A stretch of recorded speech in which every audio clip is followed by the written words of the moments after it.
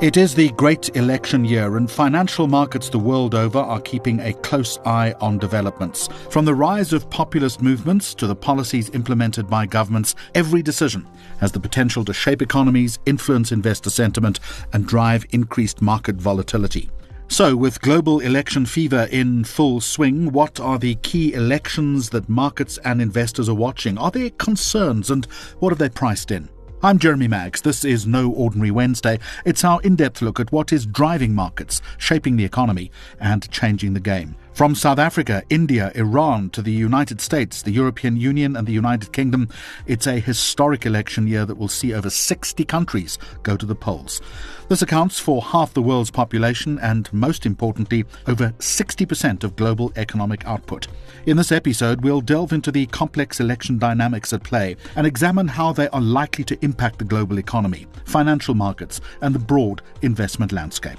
To discuss the implications for global markets and strategies for navigating the resulting volatility, I'm joined by Investec Wealth and Investments Chief Investment Strategist Chris Holdsworth, who's going to look into what is driving investment decisions during this election uncertainty. Chris Holdsworth, a very warm welcome to No Ordinary Wednesday. So, Chris, South Africa faces the possibility, as we know, of a coalition government post the election. In the United States, Donald Trump is eyeing a comeback. In Britain, the Conservative Party widely expected to lose its grip on power to the Labour Party. Just a couple of the scenarios that are playing out globally.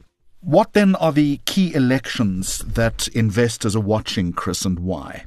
Hi, Jeremy, and hi, everybody. There are a range of elections happening across the globe, all the way from Taiwan, which has happened already, and then we've got India, which takes six weeks to occur. They're in the midst of that at the moment. We've got South Africa, Namibia, Botswana, the UK, maybe at the end of this year, maybe the beginning of next year, and the US. And of all of those, and there's a whole bunch of others that have left out, the most important are probably the Taiwanese one, which has happened already. No real change. It's the same party, but a different individual, and the US. But broadly speaking, there's a common theme running through all the elections with regards to investor concerns, and that's around fiscal policy. Over the past decade or so, we've seen rising debt to GDP from most countries, a couple of exceptions, but most countries have seen rising debt to GDP, and at some point, we're likely to see that shift. At some point, governments are going to have to become more fiscally prudent which will be bad for equity markets and good for bond markets. So the question really is is this a catalyst for that in a range of countries? So, first and foremost, we've got to look at what happens in the US, but secondly, more broadly across the globe, we need to keep an eye on what's happening to fiscal policy. So, Chris, in that respect, then, are there strategies that investors can employ to hedge against the ambiguity that is brought about by this multiplicity of polls? It's a great question. The second aspect of these elections, the first being fiscal policy, is around the implications for geopolitics. There's a wide range of possible outcomes. We don't know what's going to occur. What we can say with some degree of certainty is that it's going to be a volatile year, and as a result, there is still a clear need for safe haven assets within portfolios, ignoring the valuation aspects of the market and that covers asset classes like, for example, gold and certain alternatives which offer structured payoffs, which offer protection in these sorts of environments. So, in this era of heightened uncertainty, which we don't think is going to disappear shortly, there's definitely a need for an overweight allocation, in our view, for, towards alternative and safe haven assets. I don't need to say that when we are in a time like this, there is the danger of populism that has already been raised. The International Monetary Fund calling for fiscal restraint in the face of high government debt, crisis across the board. Here in South Africa, we've seen dollar bonds plummet with concern over the election on the 29th of May. So, broadly, then, global bond markets would be unsettled, no doubt. There's an interesting dynamic at play across the globe at the moment with regards to fixed income. Credit spreads for corporates are pretty tight across the globe, despite the fact that we're seeing increasing bankruptcies. It's, it's very anomalous for at this point of the cycle to see credit spreads as low as they are. If, for example, you look at investment grade credit, the spread over US treasuries is about 90 basis points, so less than 1%, and could lead one to question why take the credit risk at all for, for investment grade credit? If you look at emerging markets, the spread that emerging market bonds trade over US treasuries is also very low by historical standards, which is also quite difficult to understand given how opaque the outlook is at the moment and given the risks that are out there. So we've got very high yields for US treasuries and very low spreads above that. And that does suggest that there's some degree of complacency in markets at this point And again, within the fixed income space, it's an argument for rather being in the safe haven assets, given that you don't have to give up too much relative to some of the more risky propositions. Chris, at a time like this, it's also an opportunity for people, if you'll excuse the cricket analogy, to put their pads on, glove up, and uh, put the helmet on. They've obviously got to be potential opportunities for investors at a time like this. Yeah, absolutely, Jeremy. We think that there is quite a bit of opportunity out there. And funny enough, a lot of it is local. Where there's muck, there's brass. If you look at the local markets on a forward multiple of roughly half of that of the US, our bond yields, our RAND bond yields, unlike emerging market dollar bond yields, our RAND bond yields are very high relative to the US, an extra 8% or so. And then if you look at some components of the local market, like SA Inc. shares, for example, if load shedding this year is half of what it was last year, which I think is a conservative estimate, we think it could even be better than that. The cost of keeping the lights on roughly halves, and we'll see a lot of that drop through to, to the bottom line. And that's very helpful for SA Inc., especially when one considers that there's a prospect of a rate cut towards the back end of the year as well. And valuation is very cheap. So, yeah, there, there certainly is opportunity. And we think our market in particular is one that's being neglected at this point. Chris, let me ask you to lift the horizon slightly for us. Obviously, at a time like this, we need to be cognizant of how it's going to shape decisions for the medium and long term. There's a long tail here. Yeah, and these elections globally will, will have impacts for at least the next five years or so, or four to five, depending on the country that you look at. And I think there we, we do need to look through that framework. We start at the top of the conversation. The first is fiscal policy, and, and the second is geopolitics. And I suspect, given the recent momentum, it, it's probably too soon for the trajectory that is of rising debt to GDP to be turned around immediately, in which case the, the medium term is likely to be characterized by still quite significant deficits, particularly in the US, but more broadly across the globe still rising debt to GDP, which means we get still continuing support over the medium term for equities.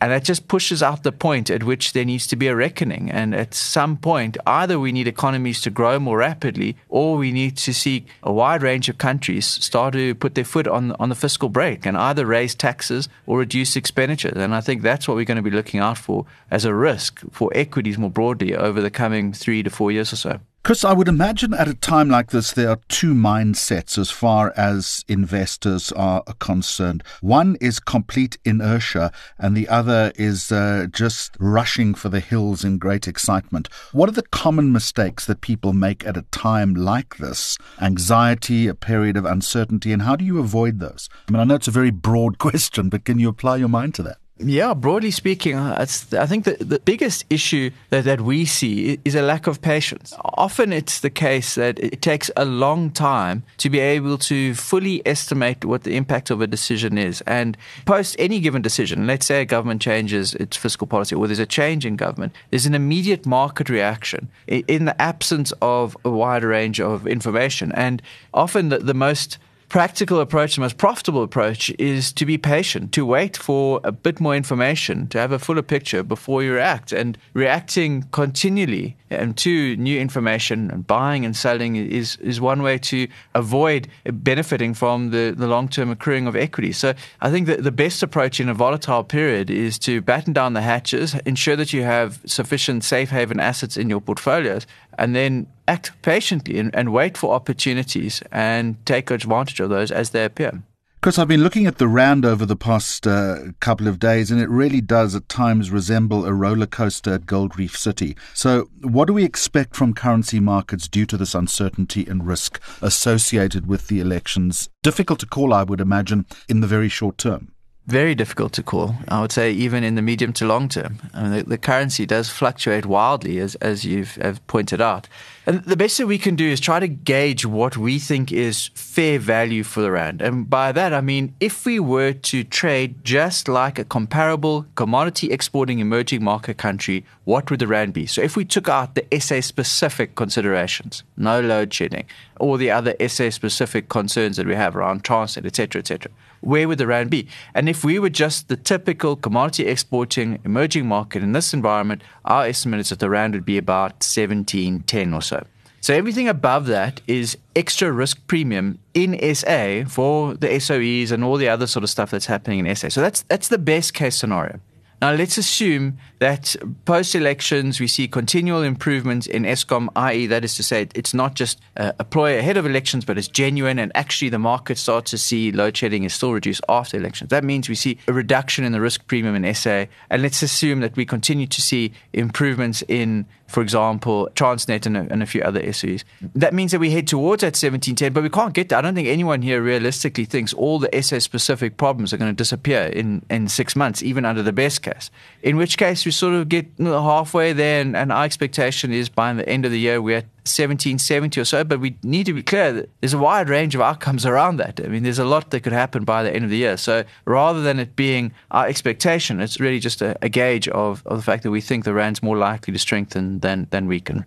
All right, Chris, sit tight. Uh, we will continue this conversation in just a moment with an assessment on why South African elections matter in the global context. First, I do want to remind you that Chris has his own program on Investec Focus Radio in Macro Monday, which drops weekly. He gives a 10 minute update on macroeconomic and market moves. It is definitely worth a listen for any investor. To listen, please follow Investec Focus Radio SA wherever you get your podcasts. If you like the channel, please take a moment to rate us. Chris Holdsworth, uh, welcome back. Uh, let's start with this now. What economic indicators then do you think are going to be impacted by the global elections? What do we need to be looking out for? I think first and foremost, it's bond yield. And there's a secondary concern, and that is while central banks globally typically are independent, they are likely to be affected by these elections. And what I mean by that is if it is the case that we land up with governments still deciding to take on large deficits, still land up with debt to GDP going up,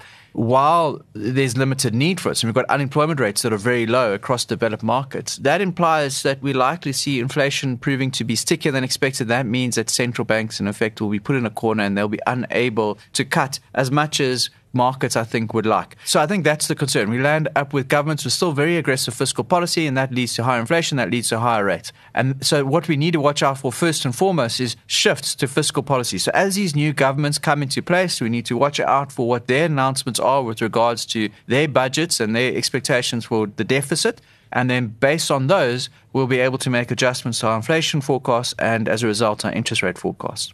Chris, of all the elections, the American poll is probably the most important, but there is a school of thought that long term effects of American elections have minimal impact on investor portfolios. Do you agree with that sentiment? It's difficult to say. I don't want to cop out completely, but if one has a look over time and you, you look at performance of the markets under different administrations, that is Republican versus Democrat, and if you look under different controls of Congress, there, there are differences in returns for the S&P over the past 100 years or so as a result of different administrations. Now, whether that's just an artifact of the data and it, it's not something that's systemic and it might not be replicated. It's one of those things where, unfortunately, it's, it's too soon to tell, even with 100 years worth of history.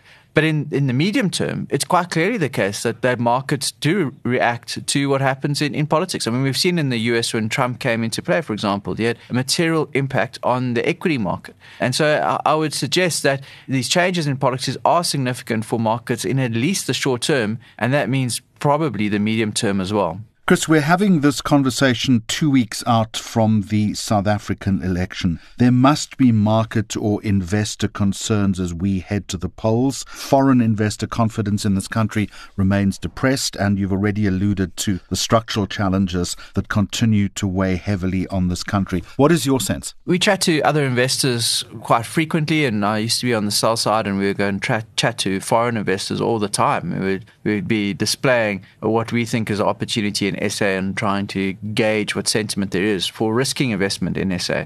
And I think globally at the moment, we're sitting in an environment where most investors are willing to just wait and see. There's no point taking a big bet ahead of an election if you're a foreign investor. There's only downside risk. Why, bother? So I think what we're likely to see is foreign investors still sitting on the sidelines until A, we get the result, but B, even post the result, we still need to see what impact that result is going to have on domestic policy and that's going to take a little while to to come about. So I think at best we're probably looking until February next year when the budget is announced before we land up with foreigners really willing to meaningfully take a stake and, and a risk in SA. And until then, it's probably worth their while to sit on the sidelines and wait to see what develops. Let me push you a little bit further on that. So you're talking about results. There's every likelihood then that we will have some form of cooperative or coalition government. We need then to watch out for economic missteps as a country. What is concerning you?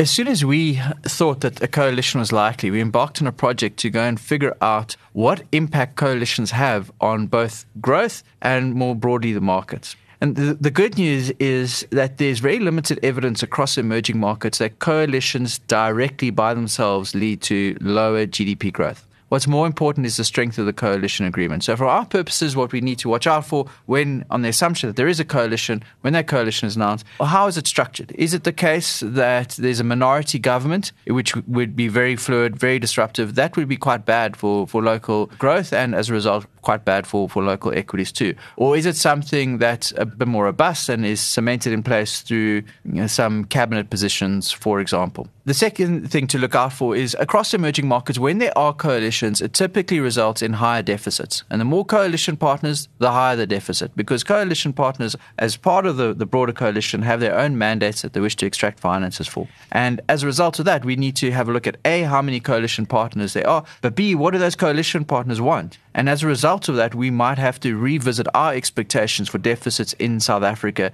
And we'll probably only really be able to get a firm handle on that post February.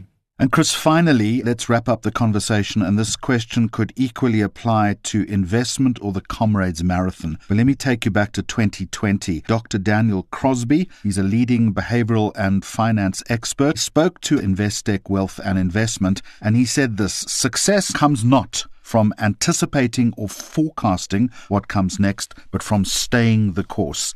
Those words ring true at a time like this, don't they? Yeah, it comes back to the point about patience we said before.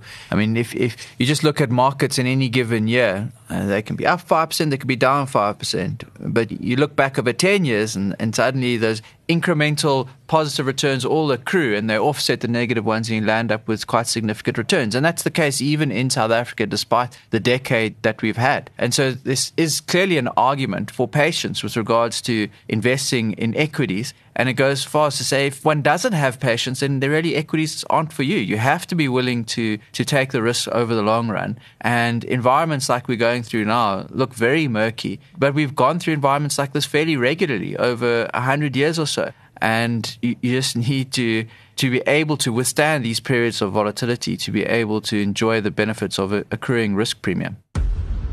And that was a very telling and enjoyable conversation. Chris Holdsworth, thank you very much indeed for joining me on No Ordinary Wednesday. Please join us again in a fortnight as we continue to explore money trends shaping your world. If you haven't yet added us to your podcast feed, please search for Investec Focus Radio SA wherever you get your podcasts and just hit the subscribe button. Until next time, goodbye from me, Jeremy Maggs, and the entire Focus Radio team. The views expressed are those of the contributors at the time of publication and do not necessarily represent the views of the firm and should not be taken as advice or recommendations. Investec Limited and subsidiaries, authorized financial service providers, registered credit providers, and long-term insurer.